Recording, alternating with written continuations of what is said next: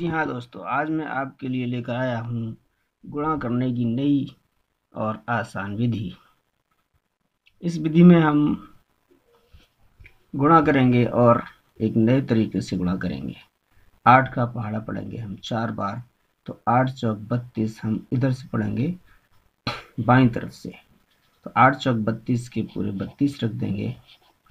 आठ का पहाड़ा नौ बार पढ़ेंगे तो नौ अट्ठे बहत्तर हो जाएगा। और दो का पहाड़ा, आठ का पहाड़ा, दो बार पढ़ेंगे तो आठ दूनी सोलह हो जाएगा। ये नया तरीका इसलिए है क्योंकि हम इधर से पहाड़ा पढ़ रहे हैं, बाई तरफ़ से वैसे तो दाई तरफ़ से पहाड़े पढ़े जाते हैं। अब हम तीन का पहाड़ा अगर पढ़ेंगे तो तीन को पढ़ा पढ़ेंगे, तीन दूनी छ होगा और छ को हम ज़ीरो सिक्स लिख लेंगे। तीन का पढ़ा नौ बार पढ़ेंगे, तीन एम सत्ताईस हो जाता है तो सत्ताईस के पूरे सत्ताईस लिख देंगे। तीन चौक बारह होता है और बारह अब हम इसको जोड़ देंगे तो इस तिरछी लाइन है, उसी हिसाब से जोड़ेंगे। छः छः को छः लिख देंगे और ये छः और ज़ीरो और सात को जोड़ेंगे तो हो जाएगा तेरह।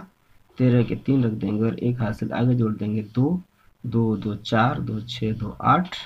आगे कोई हासिल नहीं है, सात और दो, नौ और एक। दस और दस का एक हासिल आ जाएगा, तीन और एक, चार हो जाएगा।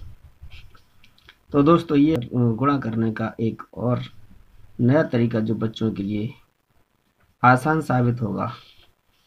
तो आप भी इसको आगे बढ़ाएँ और इसी तरीके से नई नई विधियों से इस चैनल के ज़रिए से आप तक पहुंचाते रहेंगे। तो इस चैनल को आप सर सब्सक्राइब कीजिए और शेयर कीजिए और अपनी जो समस्याएँ हैं वो हम तक कमेंट के ज़रिए पहुंचाइए।